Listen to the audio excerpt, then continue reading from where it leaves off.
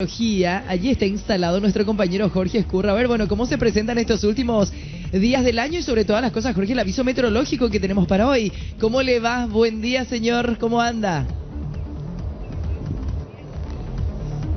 Buen día Yolanda, buen día Carlos. La verdad que súper bien. El saludo para ustedes, para toda la teleaudiencia del Sistema Nacional de Televisión y es así mismo, como, bien lo dijiste Yolanda, queremos saber cómo se va a estar comportando el clima durante estos últimos días del año 2017. Y para mayor detalles estamos en compañía de la meteoróloga de turno, ella es Ruth González, para que nos dé algunas eh, especificaciones, algunos datos con relación a cómo se va a estar comportando el clima. Buen día Ruth. Eh, para el día de hoy, para lo que resta del año, ¿qué se prevé? Bueno, para el día de hoy, jornada muy calurosa, hay probabilidad de precipitaciones dispersas. Ya se están dando en algunos puntos del país, incluso lluvias un poco más intensas en lo que es el sur del país, hay un aviso meteorológico. Y para nosotros estamos previendo precipitaciones dispersas. Estas primeras horas se está dando en el sur de Central. En horas de la tarde estas lluvias pueden venir acompañadas de actividad eléctrica, los chaparrones de verano. O sea que hoy a la tarde entonces podríamos tener algunos chaparrones eh, con tormentas dispersas. Con la actividad eléctrica, así mismo. Ahora mismo ya estamos teniendo algunas lluvias dispersas en el sur de Central. A la tarde podría activarse actividad eléctrica. En cuanto a los pronósticos para los próximos días. Bueno, mañana sábado mucho calor, la mínima en torno a los 23, máxima en torno a los 35 grados, con sensación térmica bastante superior. No estamos esperando lluvia en la capital, pero en el norte del país sí se pueden dar chaparrones con ocasionales tormentas en horas de la tarde. ¿Para el 31? Bueno, el 31 cambia un poco más el panorama. Estamos previendo que en horas de la mañana podrían darse algunas lluvias esporádicas. A la tarde puede haber una mejoría. Y nuevamente a la noche sí estamos previendo que vaya organizándose otro sistema de tormentas ya más generalizado que incluso podría traer lluvias muy intensas. Así que para la noche del domingo, madrugada del lunes, lluvias y tormentas eléctricas. ¿Estas lluvias afectarían gran parte del territorio nacional o solamente aquí en la parte del departamento central?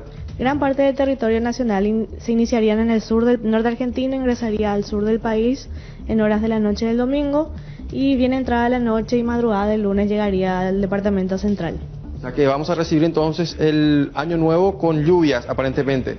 Asimismo, lluvias y tormentas eléctricas que podrían ser bastante intensas. Para el primero, porque muchas personas, por ejemplo, aprovechan para viajar, para ir al balneario, para ir a darse un, chapuzón en la pileta. Para el primero de enero, ¿cuál es la perspectiva? Una de las perspectivas es que en la madrugada y primeras horas de la mañana del lunes todavía con lluvias en lo que es gran parte del centro de la región oriental y para lo que es la noche de ese día esas lluvias se trasladan al norte, tanto de la región oriental como en el Chaco. ¿Estas lluvias podrían disminuir la temperatura que vamos a estar viendo bastante elevadas últimamente? Asimismo, va a aplacar el calor, va a aplacar el calor y vamos a tener viento sur luego de las lluvias muchas gracias Ruth González con relación al pronóstico en cuanto al clima se refiere para los próximos días, últimos días del año 2017. Así que aparentemente, según los pronósticos, para el día 31 tendremos eh, tormentas en gran parte del territorio nacional, así que vamos a pensar que esto se trata de bonanza, como se dice normalmente ya. Así que para preparar entonces también aún las sombrillas, el paraguas a un costado de, de, lo que es, por ejemplo, la mesa de fin de año. Así que a prepararse entonces para recibir este año nuevo con mucha agua, aparentemente, compañeros de la audiencia. Bueno, tengo una duda, si me puedes ayudar. ¿Me escuchás, Jorge? Sí. Eh, ¿Bonanza o sí, Gran te perfectamente.